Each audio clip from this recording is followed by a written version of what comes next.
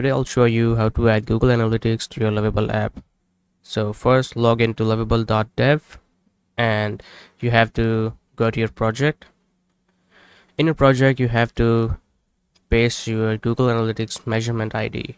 To get that ID go to Analytics and from here go to Admin.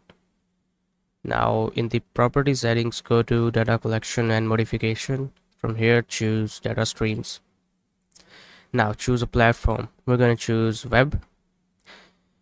Here you have to paste your url your lovable apps url now go to lovable and click on publish.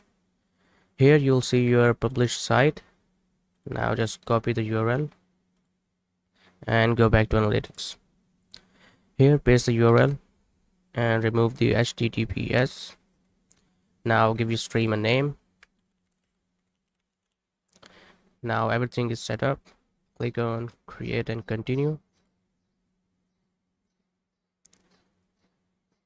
Now once that's done click on your stream.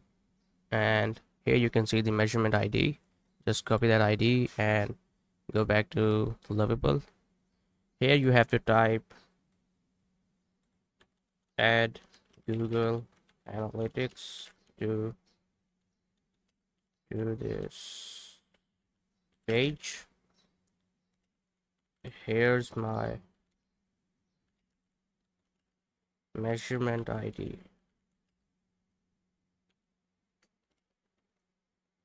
now you have to click enter.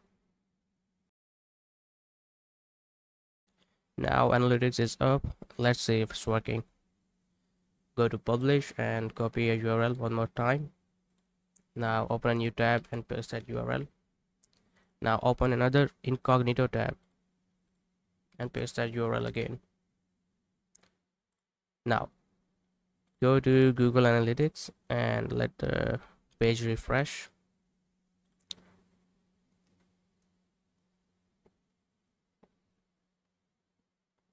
Now you can see active users.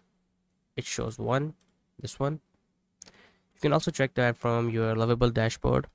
Go to Lovable and tap on your app and go to settings.